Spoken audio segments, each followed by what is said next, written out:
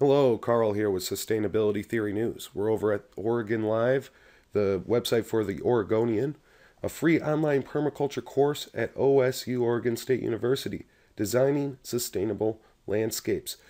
And they're talking about the learning the basics of permaculture design, specifically crops that require a lot of attention should be close to the house, close to human interaction. If you rent the land, the vegetable gardens and the uh, fruit trees and fruit plants that need a lot of maintenance, they should be close to wherever you park your car or bike.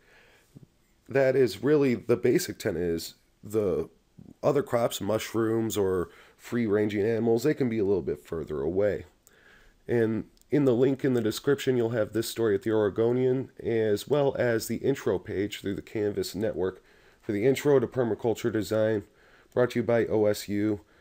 They have some objectives define what permaculture design system is and the ethics and principle, organize the order of permaculture design process diagram, elements of watershed, sec- watershed sector and zone maps, and identify design elements appropriate for each climate. Oh man, this was written by an academic, obviously. I was about to fall asleep while reading that.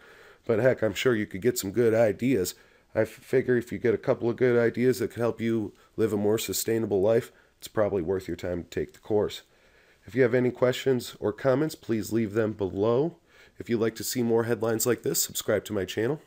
And of course, the links to these stories are linked in the description. Have a great day.